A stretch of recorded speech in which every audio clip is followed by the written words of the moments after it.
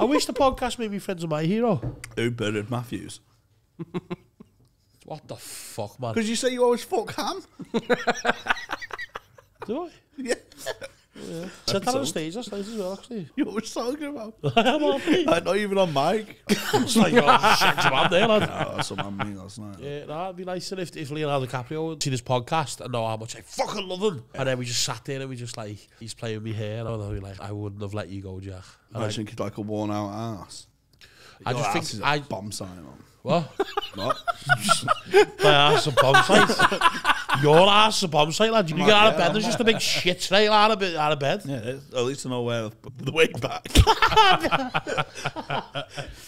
I'm son Gretel, mate. I'm not moving. Yeah. And I'm not moving. You could definitely be a lead singer of a band.